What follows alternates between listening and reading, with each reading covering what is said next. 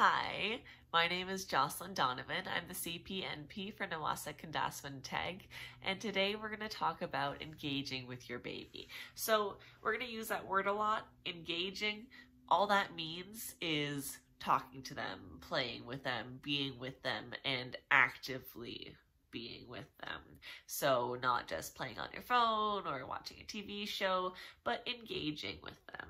So um, we're going to do a little bit of talking about the neuroscience or the brain science of engaging with babies, but mostly we're going to talk about different things that you can do at home to engage with your baby. This is Dr. Jean Clinton. Dr. Clinton is a child psychiatrist at McMaster University and the University of Toronto. She is recognized internationally as a leading researcher in childhood development and neurodevelopment. Dr. Clinton's work focuses on relationship building with children and families. You can read her book, Love Builds Brains. To summarize some of her main points, she believes that positively engaging with your child consistently will help build a loving, trusting environment where your child will be more able to learn from you. You should not think of your child as an empty jar that you have to fill with knowledge. You are learning together and your child has their own interests. By following their interests, you will help them learn. For example, if your child loves story time, read them as many stories as you can manage.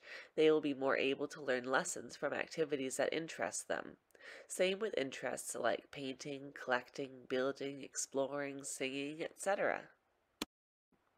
But how do we engage with baby when baby's not doing that much? We can sing, read, bounce, walk, and talk to them. I included some songs that you can sing to your baby. Some of them are for relaxing and some of them are for playing. Please excuse my singing voice. I am not a professional singer. this is Rockabye Baby. Rockabye baby in the treetop.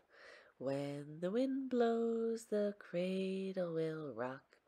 When the bough breaks, the cradle will fall, and down will come baby, cradle and all. Make sure you're engaging with baby when you're singing. Look at them in their eyes, smile, rock them back and forth. Make sure that they are part of the activity too. This is a nice song for sleep time. It goes, You are my sunshine, my only sunshine. You make me happy when skies are gray. You'll never know, dear, how much I love you. Please don't take my sunshine away. Now, this is a great little song. It goes, Round and round the garden goes the teddy bear. One step two step, and tickly under there. so you want to build that anticipation too. So baby learns that they're about to get the tickle and that's really important for their development. This is another one of my favorites. It goes, acca bacca soda cracker, bacca boo, bacca soda cracker, up goes you. Acca bacca soda cracker, acca bacca boo. Acca bacca soda cracker, I love you. Then you get to do a cuddle. There's also really simple ones you can do, like bounce, bounce, bounce and stop. Bounce, bounce, bounce and stop. Bounce, bounce, bounce and stop.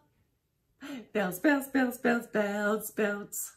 so it's just about having fun with them, teaching them that anticipation, and uh, helping them learn what's going to come next. And another great thing to play with your baby is peekaboo. And I know that that sounds you know, obvious, like, oh yeah, well, okay, we'll play peekaboo, but it's actually really important for their development. So when you play peekaboo and you cover up your face, baby, when they're very young, baby doesn't know you're there anymore. So it actually does trigger a little bit of stress in them, just a little bit, because they can still sense you there. But if you cover your face, go peekaboo, they learn that you always come back. And that's a very important step for them developmentally. So if you keep hiding your face and coming back, they start to learn that you are dependable, that you're going to keep coming back for them, and they get a little bit of that stress response. And that actually helps them learn how to handle their stress better over time. Another great way to engage with your baby is to read books. A lot of people don't think of reading books to their littlest babies, but babies love being held and they love hearing your voice. And there's nothing wrong with getting them started on books early.